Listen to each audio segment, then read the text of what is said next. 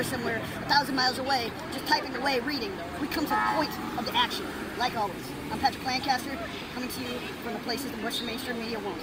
Please support our work with the link on the screen or in the description, because this is how we're only able to report to you, our viewers, because you're the ones that support us.